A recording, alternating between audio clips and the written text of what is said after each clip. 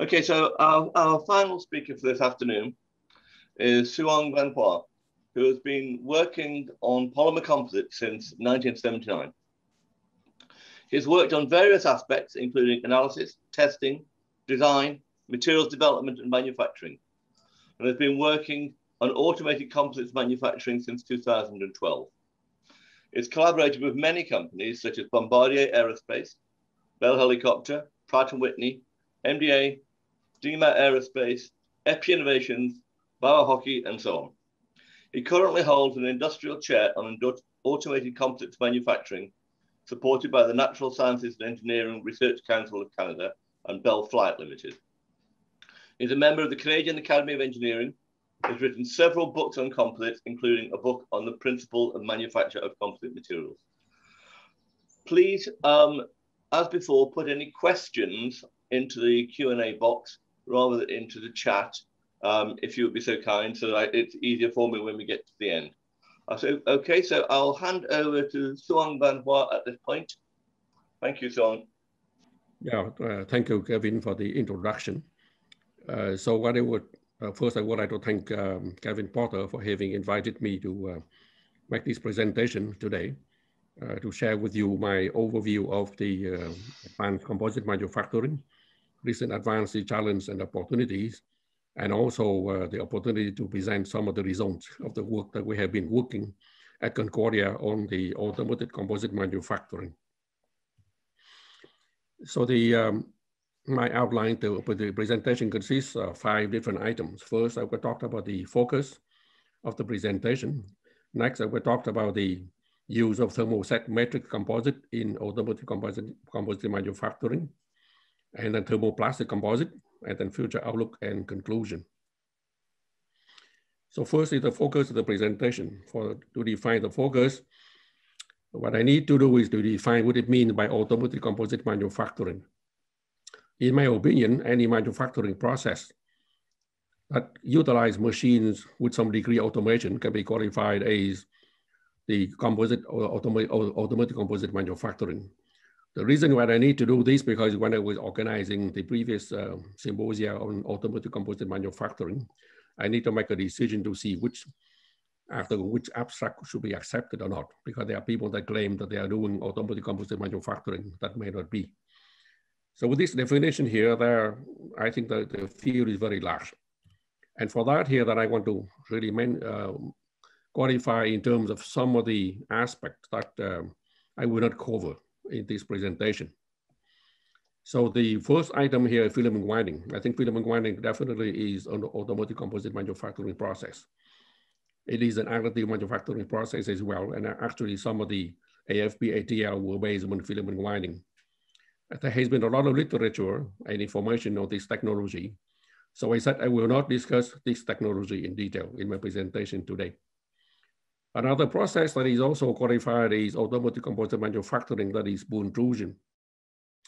And pultrusion can be used to really kind of manufacture many components with uniform cross-section effectively, economically. And again, this technology has been around for many years. There's a lot of information about it. Again, I will not include this in my presentation in detail today. Another process that also can be qualified as automated composite manufacturing is thermal stamping. So thermal is similar to compression molding, except that it's more, the, the uh, temperature of the panel may not be that high. And as such here, then people use this technique to be able to make small component with complex geometries out of thermoplastic composite fairly well. But again, due to the lack of time, I will not discuss this topic in detail today. Another topic that is also of importance and qualified is automated composite manufacturing. That is the case of the material handling pick and place. Now I think the presentation of Sue Patrick earlier today, she mentioned quite a bit of this technique. In the sense that this one here is uh, some kind of robot with the actuators. And the actuators, at the end here, you have some kind of suction cup. And they use the suction cup here with the actuator to be able to place against some kind of prepreg or some kind of material, and then you can pick it up. And you can pick up these things here to transfer from one table to another one, such as the case from a layup table to some kind of a mold surface, for example. So this kind of thing will be useful to transfer prepreg, dry fibers, auxiliary materials, backing material, etc. So this is a very powerful technique in terms of trying to, to transfer the materials. And again, I don't have time to go over it in detail, but recently there is a review paper in 2018 that addressed this technology. So in case of for people that are interested, I think you can take a look at the review paper. So what is it that I will this, uh, focus on? I will focus on two technology. That is the case of ATL, automated tape layup, and automated tape uh, placement or automated fiber placement or AFP. Now, the reason why I want to focus on this is because these are new technologies and they have been used quite a lot in the aerospace industry to make many components for the airplanes. So along this line here, then I will talk for this technology, there will be two aspects of two kind of material that these uh, two processes handle. One is thermoset matrix composite. Now for the case of thermoset matrix composite, we have not done a lot of work at Concordia. So I may obtain information mainly from the literature in terms of this particular aspect. And also the case of thermoplastic composite, where we have done uh, some amount of work. So I will talk more about the our work on thermoplastic composite using AFP later on.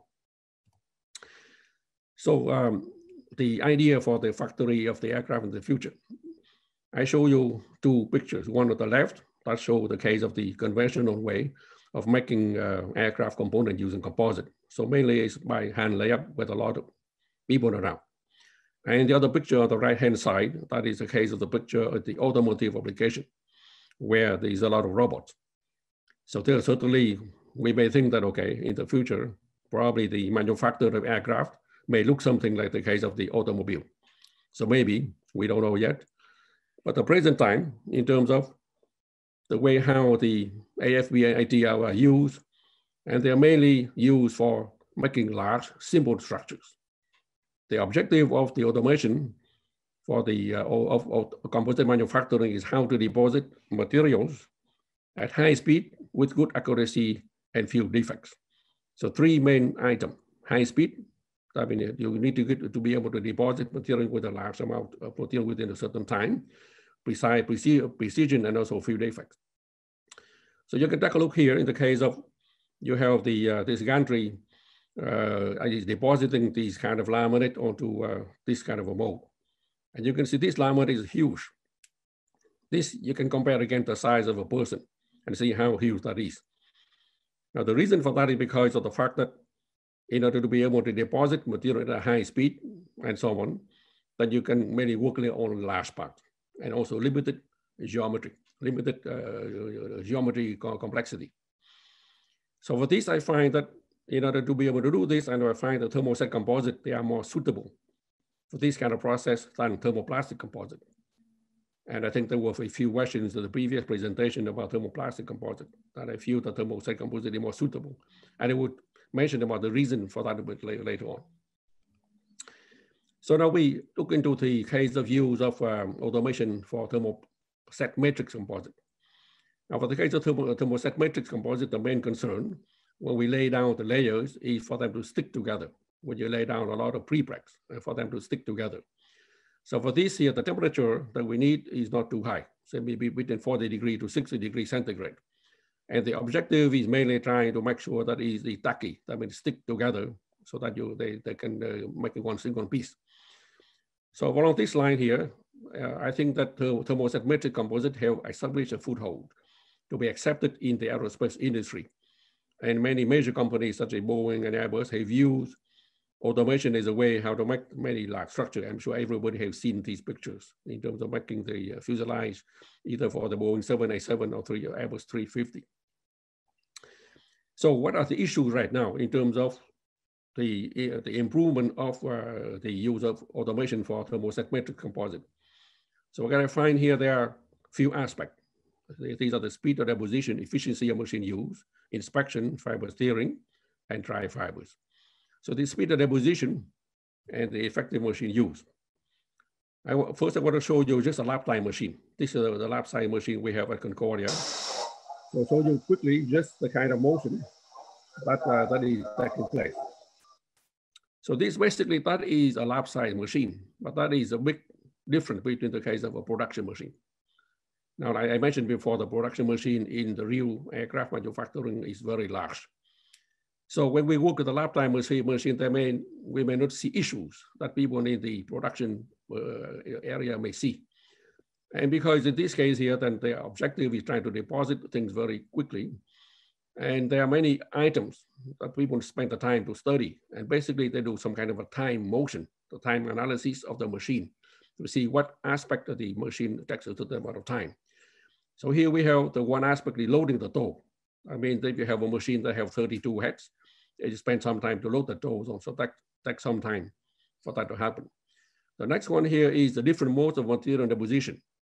I mean, during the time that you deposit material, it depends on whether you have a continuous course of the machine running that can go very high speed. They call it the mid-course payout. Or you have some kind of a location where you have to slow down, where you have to add or you have to cut the tows or you have a small piece with a gap. And another motion here called the off-back motion. That means when the machine had to go back from the beginning so that to lay down again, so they get off away from the surface of the part. So that's an off-back motion. Another activity of the machine called reliability recovery. So that means during the deposition process, there are many issues that is splicing the tow ends. That means you, you're, you're at the end of a grill of, uh, of the fiber that you have to connect the two ends together. So that means spend some time to splice them together. Or if the tows are broken or the tows are twisted or the tow may be sticking to the roller, then again, you have to spend some time to repair it. Then another activity that the machine has to spend is inspect and review. That means after you deposit the layer, then people have to make sure that it's okay, so they have to inspection. Now it depends on the inspection, whether a manual or automatic. If it's manual, it takes a lot of time. I will mention about that later on. And then after you found the defect, you have to decide what to do with the defect, the treatment of the defect. If the defect is not that severe, you may neglect it. If it's critical, you have to repair it, or maybe it's too, too bad, you, you may have to reject. And another item here called the tool move and wait. So here in the there is a paper in 2019 for the people in Electroimpact Company. And in that one, they make a statement that I find to be kind of provocative. It's a AFP machines in aerospace manufacturing spend much of their existence doing nothing. So that is very provo provocative statement. Now these machines are very expensive, tens of millions of dollars. Then it would be a crime to say that the machines sit, uh, sit there doing nothing. So what is the reason why they say that? Now, the reason they say that is because they analyze the different kind of time, motion that I mentioned to you in the previous slide. And they find that in the old, the, the previous way, the layup time, layup time, that means the real production time, the time when the machine lay down the material is only count for 19% of the total time when the machine goes into a production cell. So what happened the other time? The other time here, the inspect and review. That's 42% of the time. Now, inspect and review, that means what they did before is that they have to do that manually. That means they have to get an operator to go and look at every pie. So it, it, it comes very fast to deposit, but it takes a long time to inspect. So that is not very good. Then you have also recovery, uh, reliability recovery 14% of the time. Tool move and wait, 517 and uh, the brake over 8%. So people have improved to the current technology in, by 2019. Is the layup time increase of 42%. Inspect and review go down to 28% and the other three aspects remain the same. And then hopefully in the future, they want to improve the layup time to 76% and the other time remains similarly. So this slide here, again from uh, the Electroimpact in 2017, they give some of the speed and the position of the, the, the head. So this one here, this is the, the head from Electroimpact.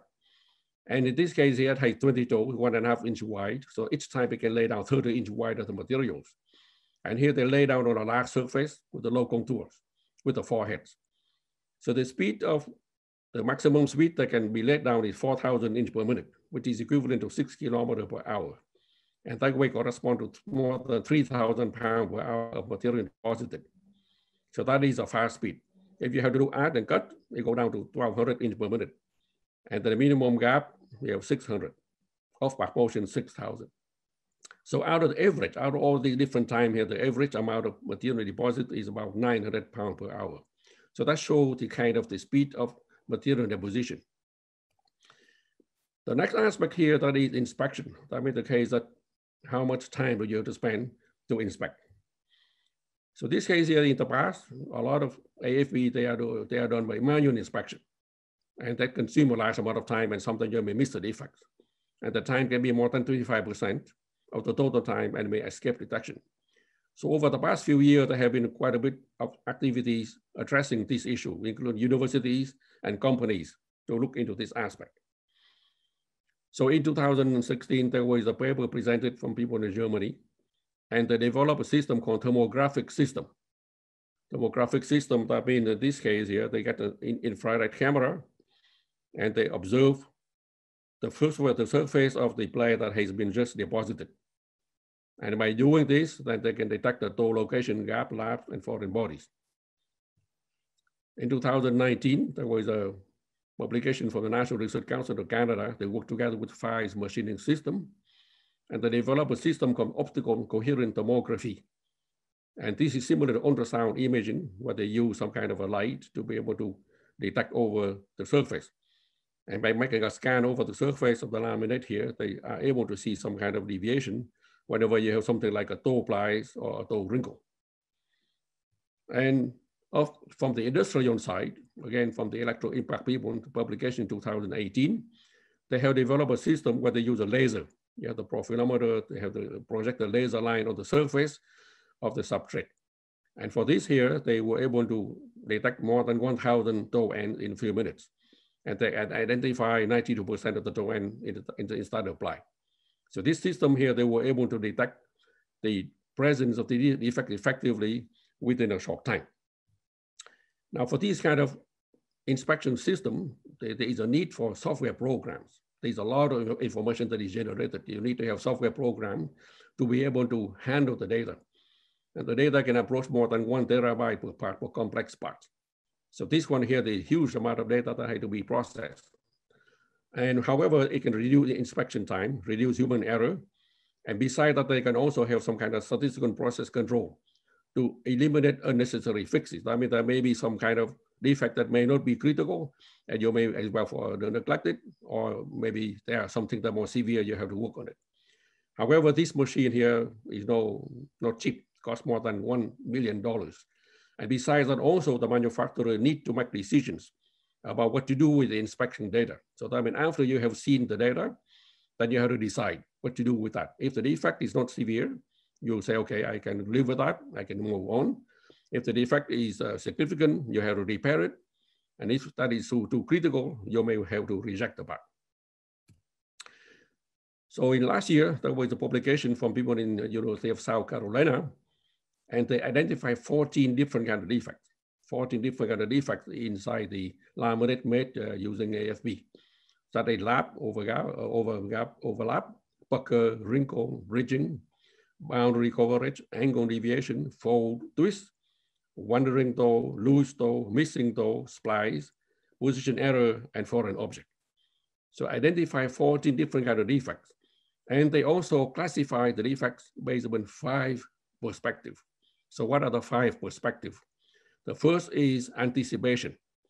Anticipation, that means the way that you can predict the defect based on the generated, the computer generated uh, fiber path because in automation, you have a, some kind of computer to generate the fiber path and you know where the fiber is. So depending on the fiber path and the relative geometry of the part, you can predict whether there will be some defect at a certain location or not. The second perspective is existence. Existence, that means that whether your inspection system can detect it.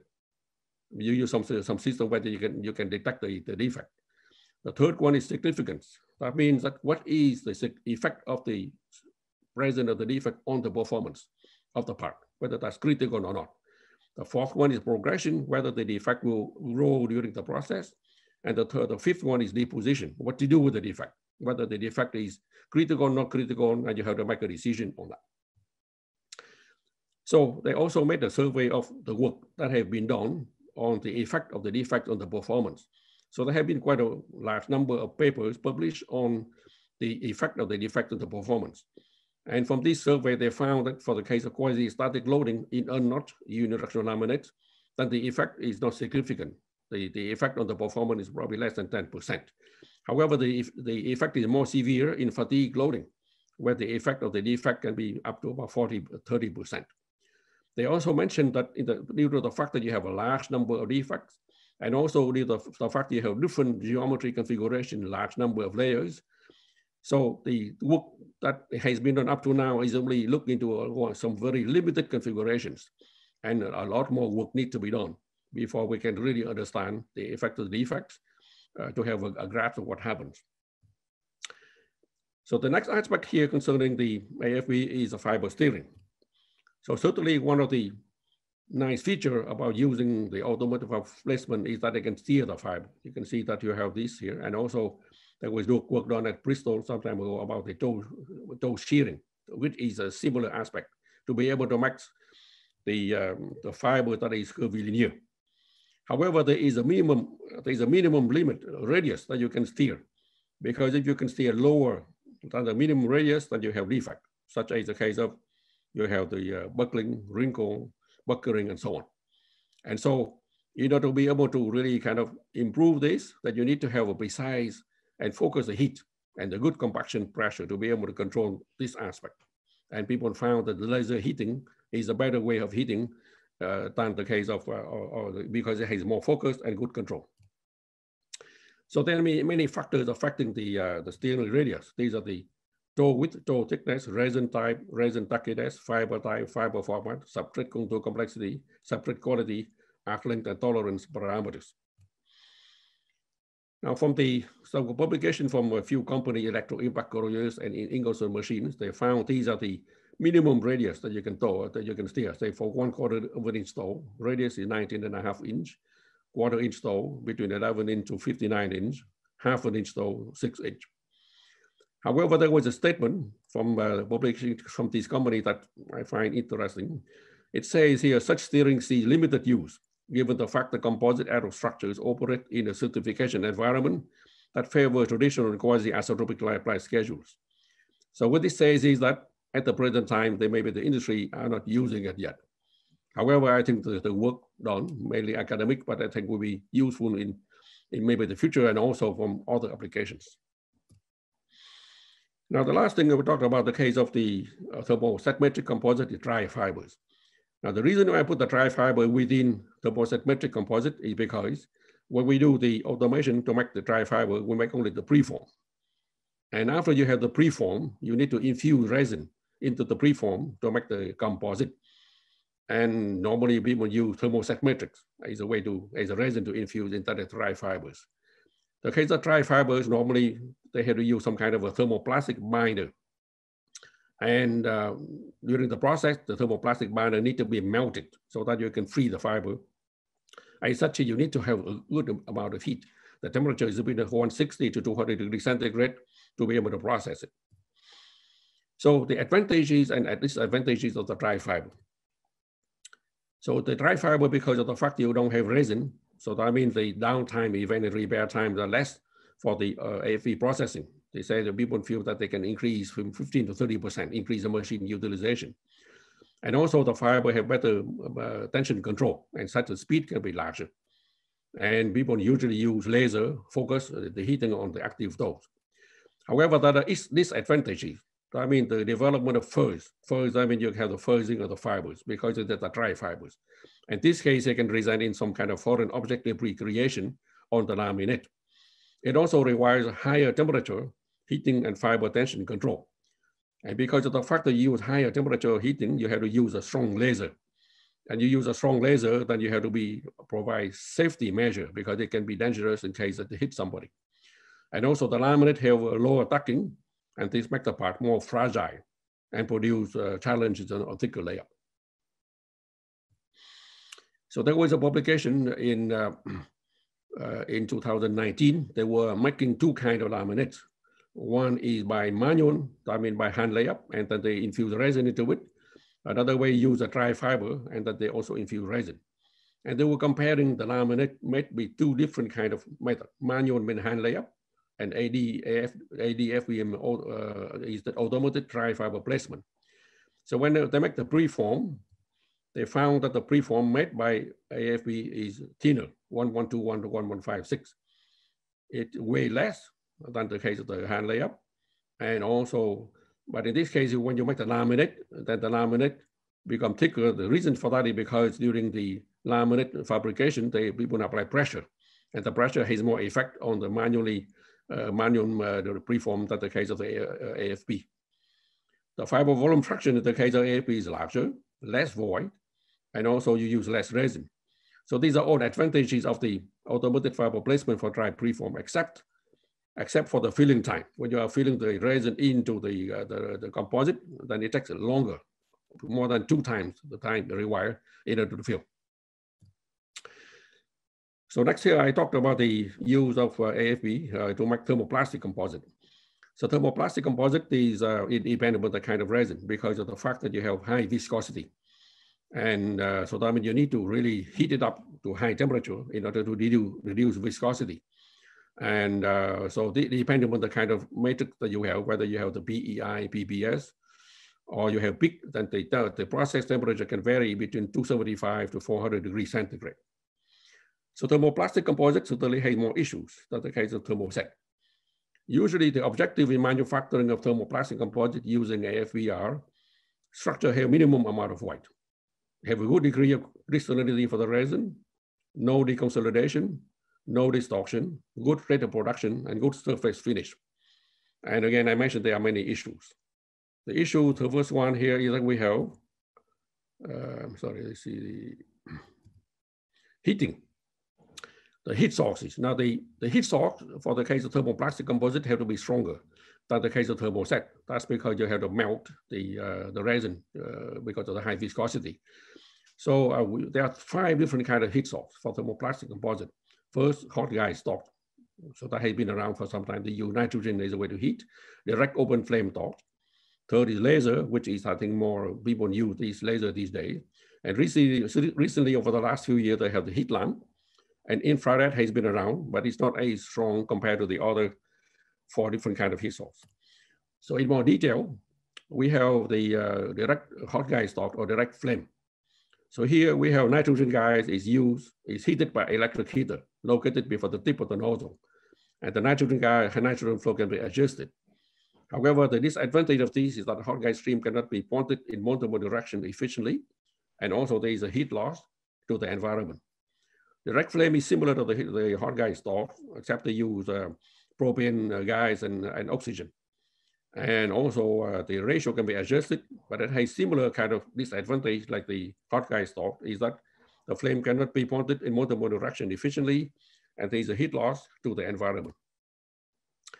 Laser, uh, quite a few machines these days use laser. The, the power of the laser can vary anywhere between three kilowatt to five kilowatt diode laser. The wavelength is about a thousand nanometer. The speed can be fast, from eight meter, eight meter per minute to 12 meter per minute. And one of the advantage of the laser is that they can use a soft roller. That is a case of made of silicone. And the fact that you use a soft roller like a silicone, it allow more larger area of contact between the layer of the composite. And that way you probably tend to have a good interlaminar shear strength. However, the disadvantage of the laser is safety consideration because of the fact that the heat is strong and you need to make sure that it doesn't hit the operator during the process. And over the last few years, they come the heat lamp, the humm3. Uh, it uses uh, high energy flashes via xenon lamp with heat the material through radiation. The uh, three parameter voltage, frequency, and pulse duration. So the advantage of the heat lamp is that it can direct the heat in different locations, 25% to what the, uh, the incoming tape, 25% to the nip and 50% directly at the substrate. The disadvantage is it's fairly new. So that we need to uh, kind of study and learn more about it. Now, one of the advantage, the kind of issue with the thermoplastic composite is interlaminar shear strength. What I find is that the interlaminar shear strength of laminate made by thermoplastic composite is not as high compared to the cut of the autoclave. So in a publication in 2019, there was a comparison between the interlaminar shear strength of laminate made by different kind of uh, AFP using different kind of uh, uh, composite, and the value is about 50, something like about you know, around 50 MPa, and that is compared to about 80 MPa. So that's roughly about 60% that of the other autoclave. Now, there are many reasons why the interlaminar shear strength of um, the uh, thermoplastic composite made by AFP is not as high compared to autoclave. So what I find that there are basically two reasons. One is the bond formation.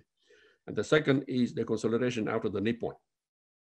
Now bond formation, in the sense that when you take a look into the process of the AFP, for example, you have the incoming tape, the incoming tape here, and you have the substrate, the one that is deposited beforehand. And these two here have to come together and they have to bond together. Now during this process here, you can break it down into many steps. The first step is that the surface asperities have to be flattened.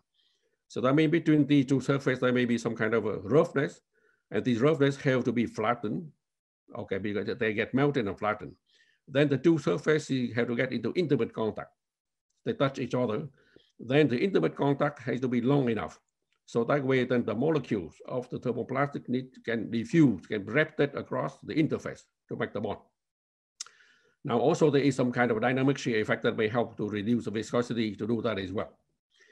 Now, there be some estimate in terms of the time required for the bond, the reptation to take place across. And this gives an equation is a function of the viscosity.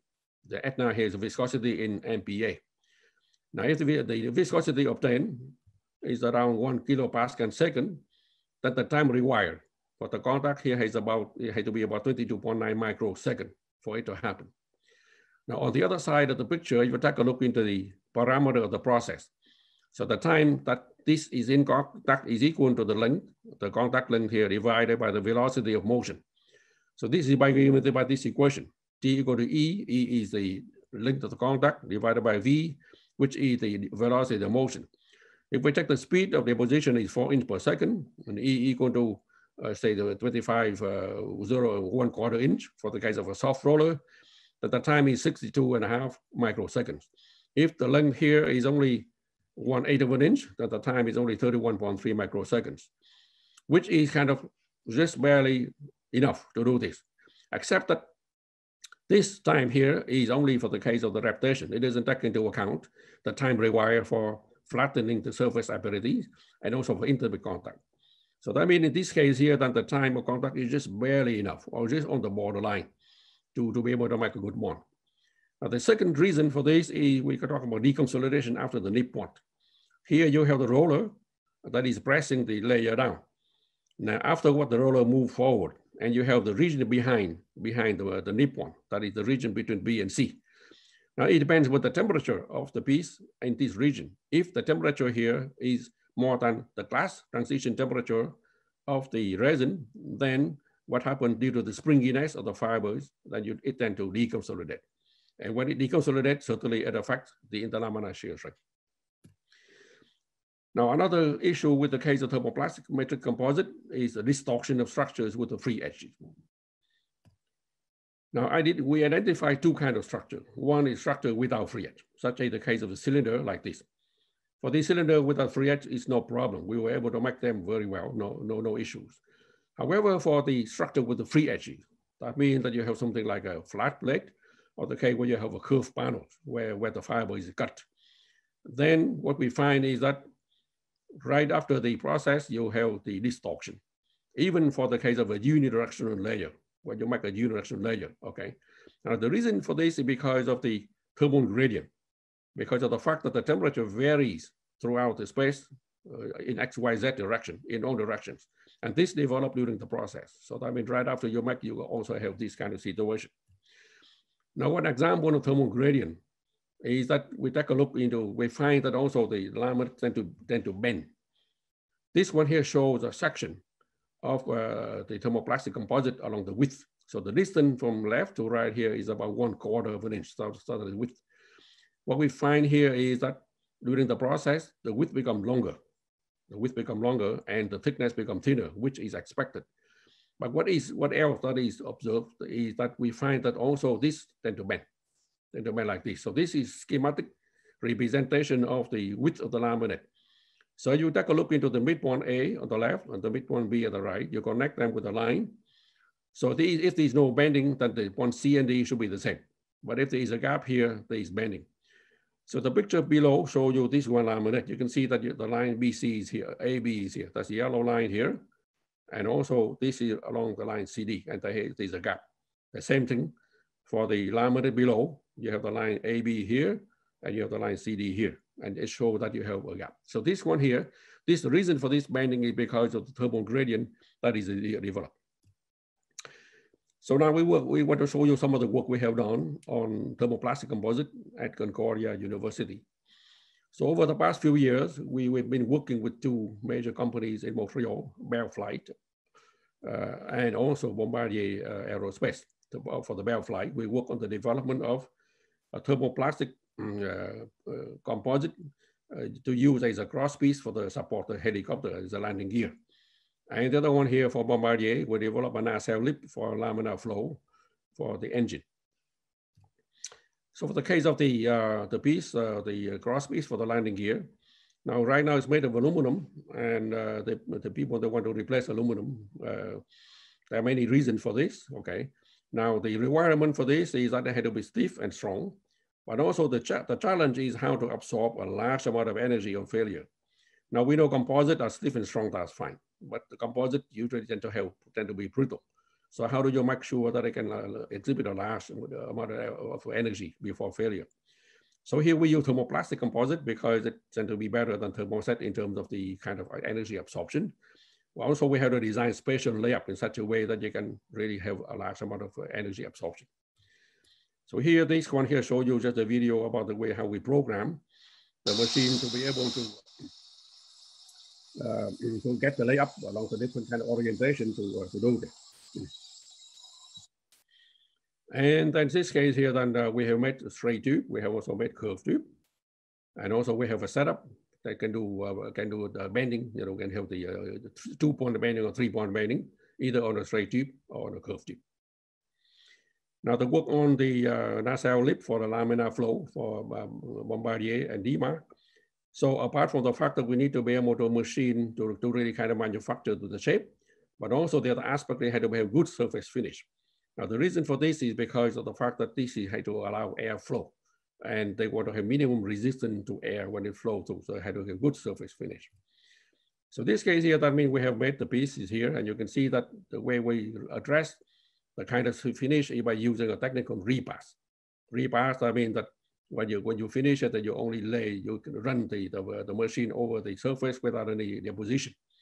And the other aspect you have to address is distortion, and have to use annealing technique to uh, address distortion. In terms of repass, repass means passing the torch and roller without material deposition. So we show you the measure of roughness RA. If you make the thing without repass, the roughness is about 40 micron. One repass is reduced down to five, and so on. Compared to autoclave is about one. Now along the fiber direction, the roughness before repass is 20. After re one repass is four, two repass, three, and autoclave. And also this one here shows you the microstructure. What we found is that the uh, repass can also help to reduce the void content as well. So future outlook um, in the sense that um, what we go from here, you know, there are people that have certain opinion. One is that they feel about collaborative fiber placement. That when you use more than one robot to make a piece, okay? Now, there was a publication from Composite World in 2019. They mentioned about the system called GroFi from the German Aerospace Center. And in this case here, then they were, they were depositing material onto a vertical mandrel. So this case, the robot is placing material on the, on the vertical mandrel. And you can use more than one robot to do that. And normally they have the cell, the cell for eight robots. And each, they are four and four. So four robots uh, are working on it, there are four robots in reserve. And that way they can also, they have some kind of a track to be able to move them in and out. So the kind of critical issues here is programming. They have to make sure the program is good so that they avoid collision between the robot and also to make sure that each one of them does a portion of the job. Now, also the other thing that we feel about the future is that limitation application of ATL and AFP. Now, certainly ATL and AFP are very good in making uh, large components. However, they are small parts, such as ribs, brackets. They may not be efficiently used ATL and AFP. And also has a complex feature, such as double curvature, tight corner, and steel ramps are challenging. And also the capital cost is very high. These machine costs cost 10 million of dollars and many small and medium companies may not be able to enter into the technology. So we feel that right now, they, they may be something that may expand the use of automotive composite manufacturing is either additive manufacturing or smaller AFP. So these are the other ends of the picture. The case of 3D printing with continuous fibers, you have the people feed in the resin together with the fiber. And that way right now, the Markforged company has two model Mark II and X7. It can handle carbon fiber, natural fiber, and glass fiber. So right now we have the two spectrum. You have the large machines to be able to do handle aircraft manufacturing. And you have the small piece made by either 3D or 4D printing. And hopefully in the future, maybe we can use these two technology to make some kind of commercial product. And in terms of the small AFP machine, small AFP machine in 2018, there's a company in Finland called Espoo. They developed a small AFP machine. The weight is 16 and a half kilogram. It can sit on top of a desk, uh, a, a, a, desk. It can handle carbon natural glass fiber, and it can do uh, uh, different kind of tools, uh, one quarter, one half, and one inch. So conclusion, my conclusion is that the um, for thermoset composite, they have been successfully used in making aircraft structures. Improvement can be made on speed, uh, or deposition, automated inspection, reduce reduction in medium radii for fiber steering, and understanding of the performance structure containing defects at the lab and gaps. For thermoplastic composite, we need to have improvement for the heat sink sources, and we need to address low internal shear strength distortion with structure with three edges. And future outlook, in terms of trying to go to commercial products here, will be smaller FE machines or 3D printer with continuous fibers. I would like to acknowledge the financial support from the Natural Sciences and Engineering Research Council of Canada, Bell Flight, Bombardier, and DEMA, and also many of my uh, associate and uh, student and colleague, Daniel Rosca, Xiao Kai, Farjad Shadmehri, Hang Wang, Juan Mendik, Jeffrey Simpson, Ashraf Fatih, and many students. I thank you very much for your attention.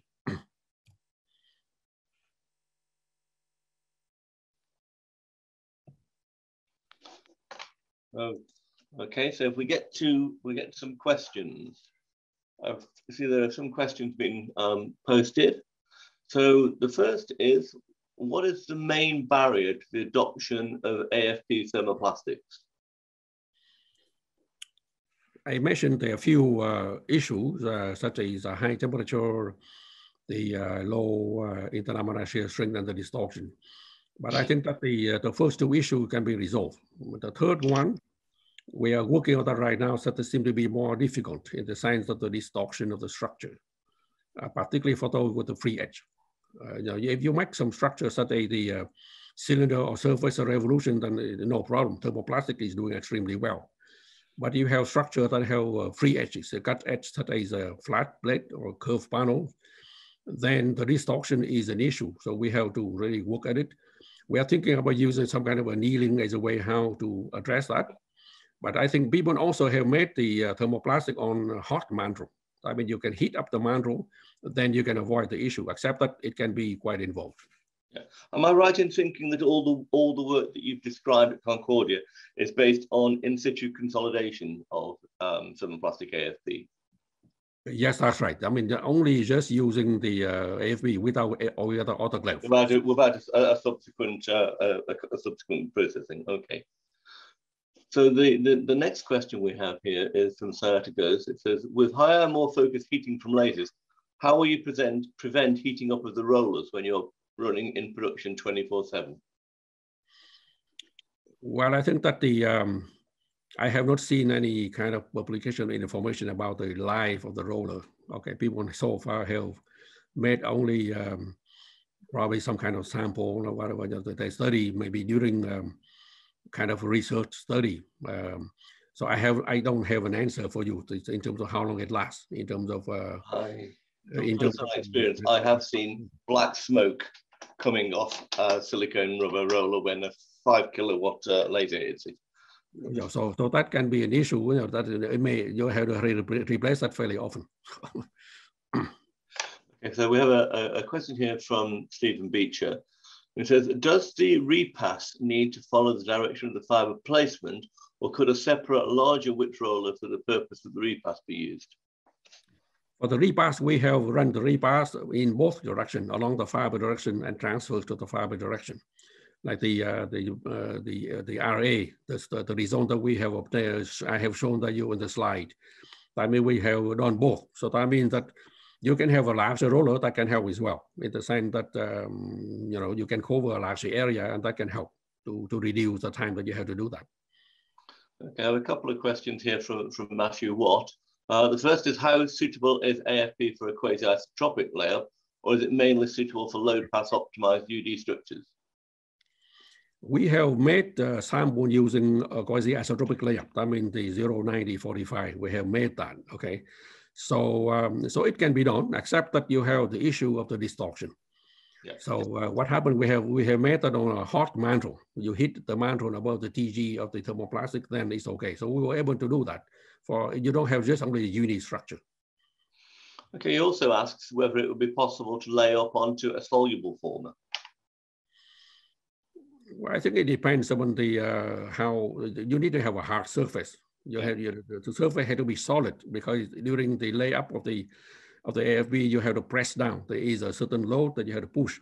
So if the soluble former can withstand that kind of a load, then you can do it. But if not, then it may break or you have some some problem. So it depends on the, the quality, the solidness of your, your former. Okay. So what, certainly the, the, the data that you put out showed on Electroimpact was very interesting. Uh, it's very similar to data I've seen from other suppliers and from, and from production sites in terms of uh, the amount of downtime that one can see. Do you have any insight into how the reliability of the, the machinery or the, the it should really be thought of as a manufacturing system um, rather than the machine, but do you have any ideas on how you might improve that reliability? Uh, actually, uh, I don't have the first-hand knowledge of uh, of the of the system. I mean, what basically I obtained from the literature. So, so in the sense that um, I mean that's what they present. I, I I don't think I have an answer for you. I mean, how reliable that is? That they they seem to uh, to claim that they can do a good job. So I mean, that's I, I don't have an answer for you. That's it. Yeah. I think one of one of the other things that, that, that interests me about these things is is um, the training side of it. I mean, do you have any thoughts in the best way to train um, people in design for automated processing? Well, I mean, in, for our operation, uh, it took a while for somebody to, to pick up on the learning curve.